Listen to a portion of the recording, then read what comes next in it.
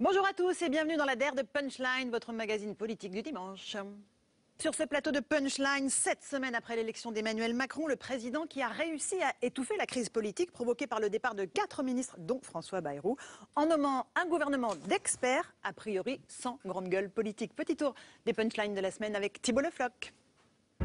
Et notre invitée aujourd'hui, c'est Clémentine Autain. Bonjour, venez vous installer sur le plateau de Punch. Bonjour. Bonjour, un mot de commentaire sur ce... Nous l'avions proposé avec Jean-Luc Mélenchon. Réaliser une forme de, de, de novation dont on avait besoin dans notre famille. Un mot de Marielle de Sarnez qui quitte le gouvernement entre le PCF et la France Insoumise. Il y aura deux groupes différents à l'Assemblée nationale. Est-ce que vous le regrettez? Est-ce que c'est Oui. un gâchis?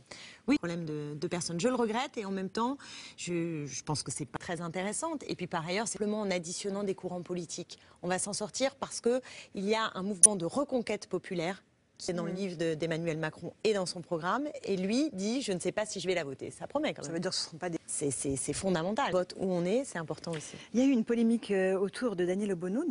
Alors, pourquoi est-ce que c'est un problème de dire vive la France? Et pourquoi est-ce que c'est un... Les femmes, ça posait pas de problème. Pourquoi il la pose cette question Moi, je l'ai elle? posé, voilà. Clémentine Autain, une réaction à ce qu'on vient d'entendre? Ça va être du... L'émancipation humaine. On se retrouve dans Punchline avec notre invitée, la députée Clémentine Autain.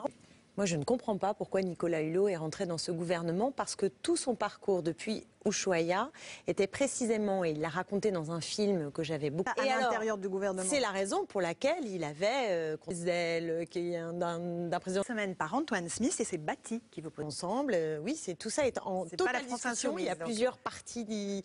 Non, et, et en sortant de là, on- que, que j'ose d'une certaine manière vraiment le dire, mais C'est Clémentine Autain. les murs renversés de Chive, mais on a trop de murs. Euh, c'est aussi bien le mur. Vous comprenez? Bah, je ne sais pas ce que ça va donner. Je pense que. Vous savez, aujourd'hui, euh, je trouve que la Reine.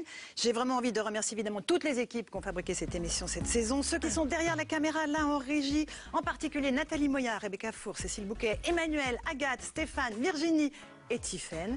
Et puis toutes les équipes de Punchline, vous savez combien je vous aime, Éléonore Gracier-Técher, Louise Bernard, Iban Raïs, Thibault Le Floch, mais aussi Julie Lénoret, Alice Bluzet et notre infographiste Pierrick Grébil. Et puis une pensée toute particulière pour le rédacteur en chef de cette émission, Jean-Pierre Montanet, compagnon de route journalistique depuis de longues années. À très bientôt. Bon dimanche à vous sur C8.